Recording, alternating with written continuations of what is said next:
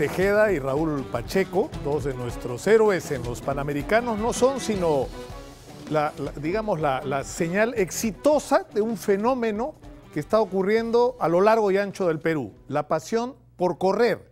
Gente de todos los niveles socioeconómicos, de todas las edades, ha decidido salir a las calles a correr. Aquí la historia.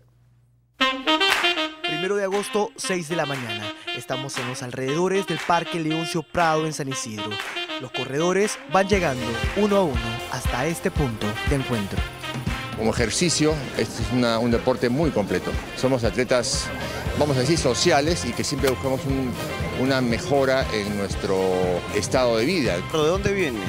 desde Villa María del Triunfo. ¿Qué te motiva a ti para, para salir muy temprano y hacer deporte? Más que nada el gusto porque me encanta a mí correr. El mundo se ha volcado a correr, e- es muy integrador, e- e- es totalmente participativo, incluye todas las clases sociales, raciales, de credo, y yo creo que es, eh, vamos a decir, la panacea del mundo. De todos los distritos, hombres y mujeres amantes de la vida sana están presentes. Algunos bien equipados, otros con lo justo y necesario, pero con todas las ganas. Esas ganas que tienen niños y hasta padres con su bebé en coches que toman hoy las calles para hacer deporte. Ahora todas las semanas hay eventos. Ya, ya, ya tengo pues un, un- un- un recorrido largo, eh, he corrido la primera en Nueva York que hemos ido, la primera, la tercera, toda una experiencia que la recomiendo. ¿Hace cuánto vives acá en Perú? Ya hace ocho años ya. ¿Siempre participas en ese tipo de eventos deportivos? Sí, hace mucho tiempo yo participé ya tipo de carreras internacionales desde Alemania, Suiza, Italia, México, Colombia. Somos los Yaku Runners. Ya venimos todo un grupo, más o menos somos como 8 o 10 personas y nos juntamos súper temprano y hacemos lo que más nos gusta, el deporte, correr. Así como Gonzalo, Boas y Jessica Niquén, cientos de personas asistieron a esta convocatoria y para muchos de ellos fue su primer día de maratón. Ellos están organizados y viajan incluso fuera de Lima para correr.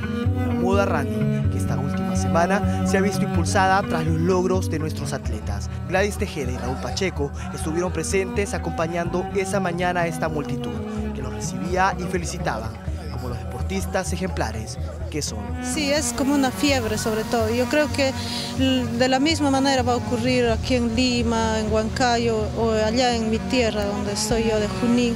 Igual, ¿no? Los niños, los jóvenes, todo el mundo va a querer correr. En el futuro nos vamos a volver potencias. me hubiera levantado con unas energías súper, me siento ni siquiera cansada, al contrario.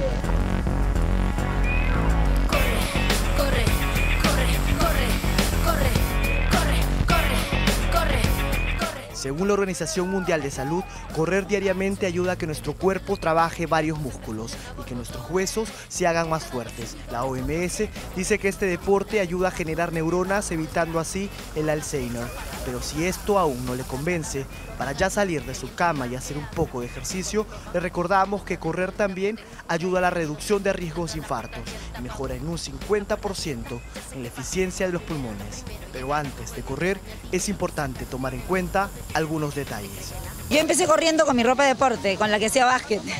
Pero para correr, definitivamente, a medida que vas corriendo, zapatillas, por ejemplo, para correr, es importantísimo porque depende de la suela, de la planta de la amortiguación. Igualito, eh, son livianísimas, no pesan y tiene una ventilación, todo es malla, ¿no? Todo es malla. Entonces el pie con el calor del- del- de la pisada, de la pista constantemente, entra a una, se pone térmico. Entonces ventila. Lo que esta medida tiene es, este, son medidas que se llaman medidas de compresión, que ajustan eh, la, la parte de la pantorrilla, tiene la- el ajuste exacto para que un corredor tenga una fatiga muscular retrasada. Usas un polo que no es adecuado, puedes tener problemas incluso de salud. Muchos usan a veces el polo de algodón, ¿no? que creen que es, es mejor, pero el polo de algodón es como una esponja, se moja, sudas y ese, ese sudor queda ahí en el polo. El, el modelo acá, que es el 920, que es el, el mejor que tenemos hasta el momento, que es, sirve para correr, pero también sirve para triatlón, porque es acuático. Puedes utilizarlo para el mar, desde bicicleta y para correr.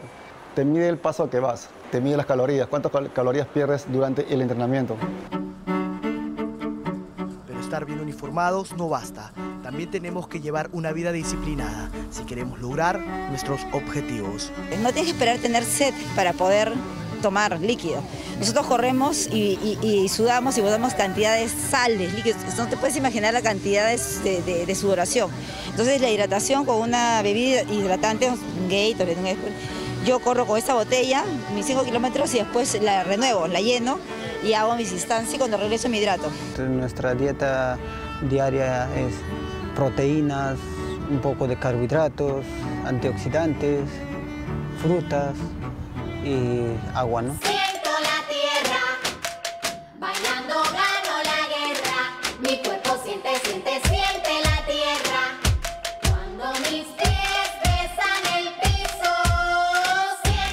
Una asimilación adecuada que todo deportista debe tener en cuenta y que hoy esta disciplina es practicada por muchos, como Leo y Luis Sandoval, dos deportistas invidentes están preparándose para competir profesionalmente. Ellos son de los primeros que, que están este, tratando de sacar el atletismo y de, de un nivel, digamos, competitivo adelante. Y vamos a correr con, con Leonardo hoy día. De hecho, bueno, ellos también han querido ser parte de esta celebración.